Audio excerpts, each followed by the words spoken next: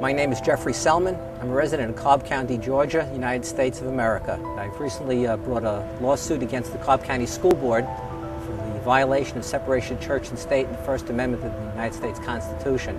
The uh, case revolves around the placement of a disclaimer against evolution in the new science textbooks that Cobb County bought. While the sticker says nothing about religion on its surface, it does attack evolution. Putting a disclaimer in a science book like that undermines the validity of anything they're teaching in the book.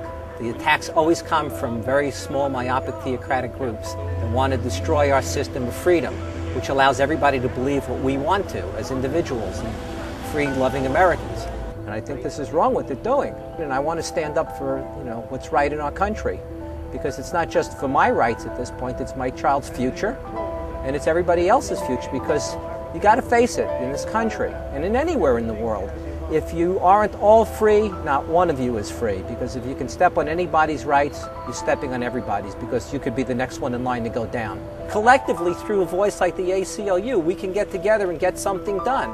If we just ignore it and say, well, somebody else will do it, or religion, uh, you know, it's a good thing, it is a good thing. But not when it's in the form of theocracy and it, and it imposes itself on us. We've been the pillar of strength for liberty and, and, and democracy and freedom for the world for over 200 years.